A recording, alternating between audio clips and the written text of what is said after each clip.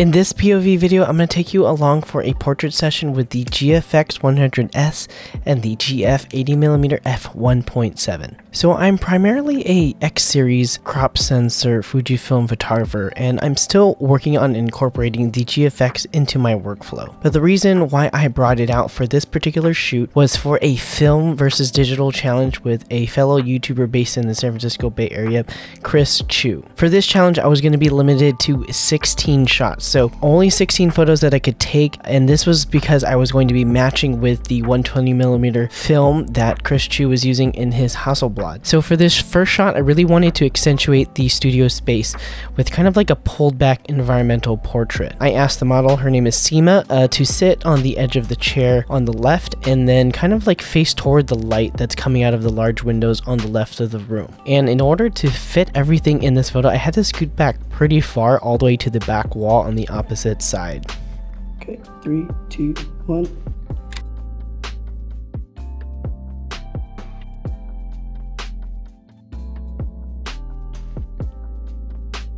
And then playing off this same shot using kind of like the door panes, I added a little bit of variety by turning the vertical composition and then having Seema look toward me. And using this same lighting, it created a side lit look that has more contrast on her face, so really split between the highlight and the shadows. Three, two, one.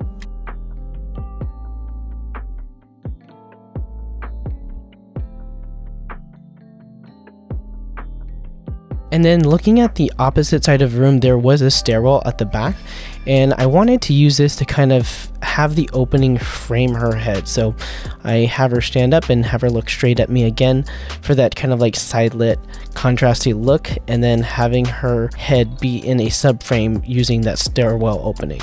Three, two,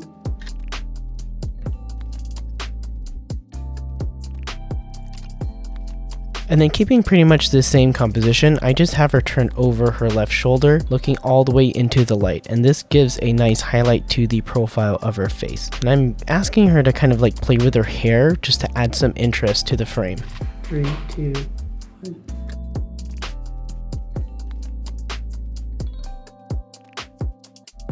And as I'm looking for shots, I think I'm mainly being inspired by the environment and the lighting, so specifically like the windows for what will be my next shot. I try to use this window to kind of like create a cool silhouette, but actually I wasn't getting a lot of the separation that I thought it was going to be having since she was seated. So I, I scoot back all the way to the back and I include some foreground interest on the left of the frame. At the right edge I do have kind of like the pane, kind of have a bold contrast on that side.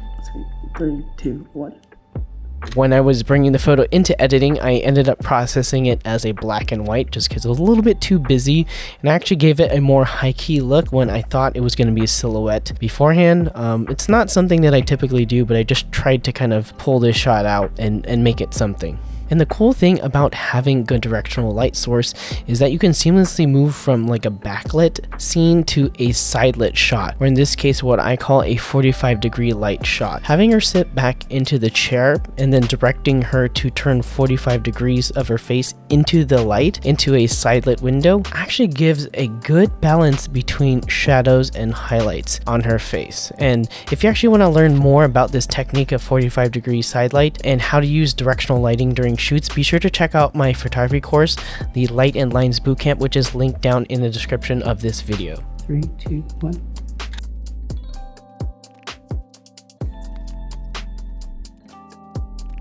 Okay, so leveraging that 1.7 aperture, I, I, borrow a composition that I typically do for weddings, having her close her eyes and uh, focusing on her eyelashes. And then I'm holding the camera higher up and pointing it slightly down to get this shot.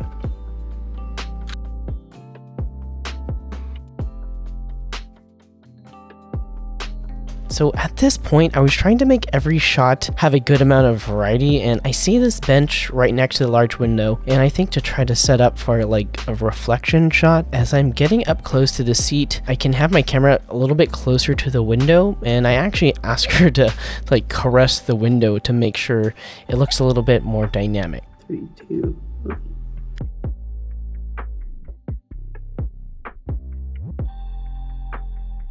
And after that shot, I'm now having her look back at me, moving away from the reflection but using that same beautiful light, and then I'm framing her head in between the window panes in the back. Three, two,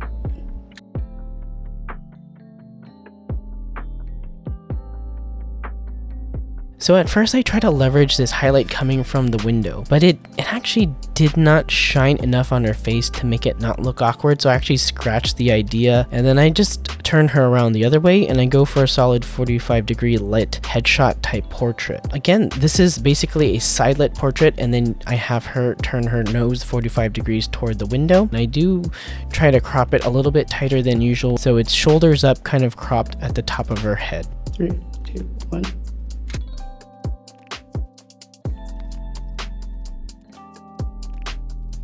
So now that I've got enough shots inside, I want to step outside and use that direct sunlight and maybe not be as interrupted as it is indoors. So this time I'm framing her with the door frame and really trying to capture those diagonal lines of the light rays. I expose the image for the highlights. Um, I've never really done this before with the X series, but I expose the GFX for the highlights and have her close her eyes while I dial in kind of like the exposure of the shot. And then when I'm ready, I have her look up with her eyes closed into the sun. There you go. Close your eyes. You can see that the shadow recovery for this edit was super clean. It's something that I'm not used to on the X series cameras, which would probably be really useful to have this kind of in my bag just in case when I'm doing portrait sessions in very high dynamic range scenes. So I'm using this same light and pose and actually come in closer to add some variety. I always try to pair a tighter shot with a wider shot. So whenever I find something in good light and a good pose that I like, I always try to do the opposite of what I just did. Three, two, one.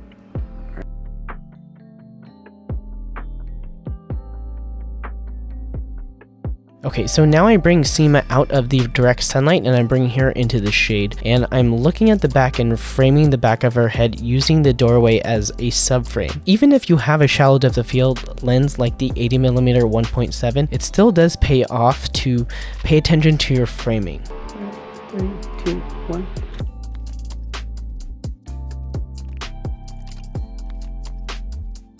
So this time I'm going to have her look over her left shoulder again and then framing her head using that same door frame. Always be on the lookout for kind of like these shapes that naturally appear in your environment.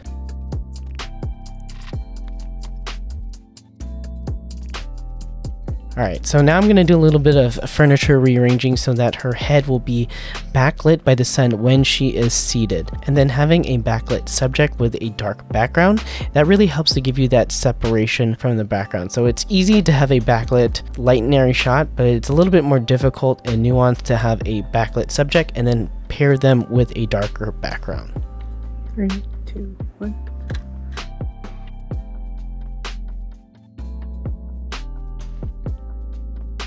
And then taking that same lighting and just coming in for a closer crop, I finish off with this kind of like more headshot type feel of a shot.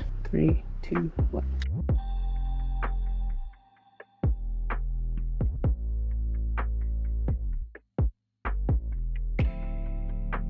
Sixteen. Oh, 16? Yeah. That was good. That was real good. Dude, I saw some of the, the back of your screen like, that looks really So overall, I'm I'm really impressed with the clarity and resolution of the GFX 100S. I think that should be a given because that is the main strength of the camera is really the resolution and the sensor size increase over the X series cameras. While I don't think I'm still going to be using this type of seat of a camera for my main documentary kind of work, I really do love it for that kind of slowed down portrait work. Um, and I think it could definitely be of good use during kind of like wedding portraits or anything again, like I said, with those high dynamic range environmental portraits that I'm having trouble to kind of get a clean shot with my X series cameras, the GFX 100S is really going to come in a pinch. And with that, my name is Reggie Ballesteros, and if you enjoyed this video, please give it a thumbs up. And if you love this video, please consider subscribing for more Fujifilm or photography videos every single week. And if that's too long for you, I really encourage you to check me out on Instagram and follow me there as I make new tips, tricks, and tutorial posts every single day. Alright, that's it for me. Remember to get out, go shoot, and I'll catch you all in the next one.